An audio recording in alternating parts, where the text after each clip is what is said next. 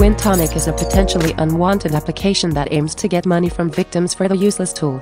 To remove it, close Wintonic and press Alt, Control, Del simultaneously. Then select Task Manager from the list.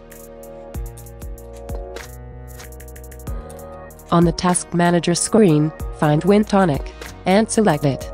Then press End Task. Close Task Manager now. Press Start button and type Add or Remove Programs and click on this application.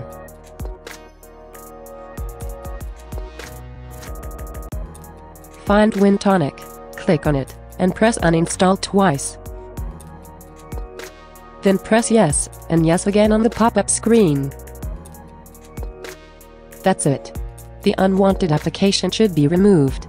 However, your PC still might have a virus inside, so it's highly recommended to scan your PC with a reputable anti-spyware software. To do that, open 2-spyware.com website, find Malwarebytes anti-malware review, and press download. Wait for download to complete and open the downloaded application.